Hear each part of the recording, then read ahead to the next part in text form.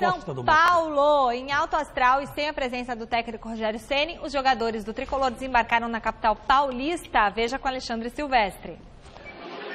Seu Edson e Dona Cristina à espera do outro filho, Luiz Araújo, crescendo na profissão. Eu sei que Deus tem preparado algo maior para a vida dele e que ele vem continuar na humildade, né?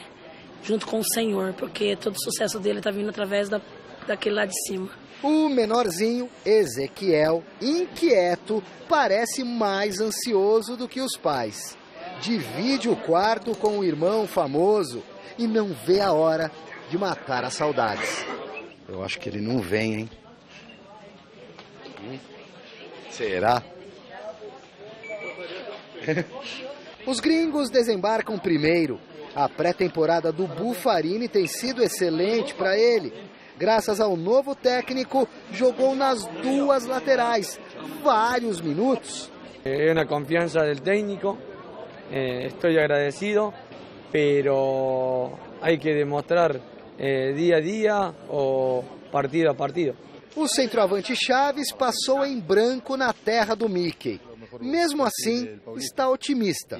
Sí, tuve chance, pero es una pretemporada, es normal que, que uno se está adaptando rápido y los goles que van a contar van a ser lo, lo que sean por los tres puntos, así que estoy tranquilo. Alguns torcedores querem mais.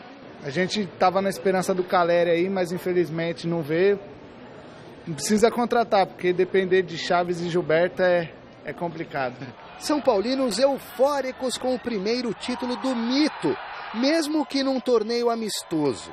Amistoso de verdade é o breve contato desse palmeirense e de um corintiano com o rival tricolor.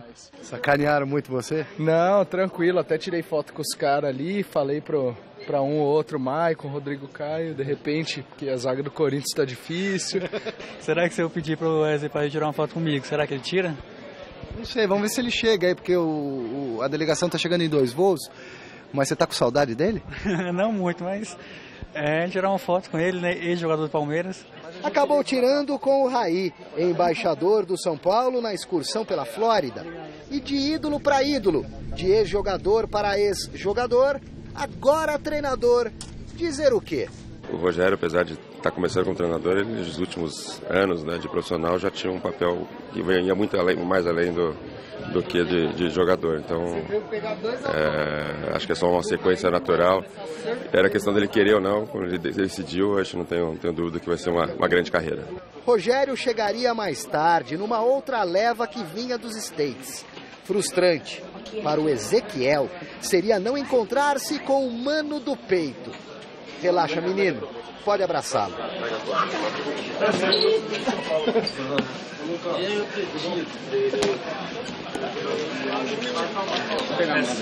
Ô Luiz, o moleque dorme com você, é verdade, cara? Ah, isso aqui é meu. meu meninão. E para todo mundo ficar satisfeito, se por hora não tem Rogério Ceni, Sidão entra em cena. Já virou herói, cara? Não, ainda não. Tem muita coisa ainda para fazer ainda. É uma questão de tempo? não, trabalhar, trabalhar bastante ainda. Sidão você vê que chegou e já ganhou moral, né? Duas, duas decisões por pênaltis. É, mas ele aqui entre brilhou. nós, é, aqui entre nós, nesse torneio da Florida Cup que o São Paulo ganhou, o que ficou de bom mesmo foi o Sidão, Sim. que realmente ganhou a posição do Denis. Se o Rogério Ceni for um cara justo como treinador, a posição é do Sidão. Ele já contratou é, o Sidão. Não é mais o Denis. Né? E outro cara que me surpreendeu foi o Wellington Nem. O Wellington Nem realmente é um, é um cara que joga pela direita e funciona. Funciona. Ele ou como meia, ou como ala, ou sei lá, como meio campista, ele funciona uma barbaridade. Tem qualidade de passe, chuta gol, foi, são os dois que me chamaram mais atenção. Agora, eu torno a dizer, falei isso para o Zé Diniz, que hoje na, hoje na redação. O Corinthians montou um elenco. Tanto é verdade que jogou o primeiro e o segundo tempo com dois times diferentes em dois jogos e se saiu muito bem. Não perdeu nenhum jogo, perdeu nos pênaltis. Uhum. O São Paulo tem um time, não tem um elenco. tem 11 jogadores, mais três ou quatro, que podem ser aproveitados para o Rogério Ceni. Mas não tem um elenco. Porque ele tirou um time, pôs o outro e a qualidade caiu. Uhum. Então, quer dizer, não aconteceu isso com o Corinthians. Então é uma coisa que preocupa.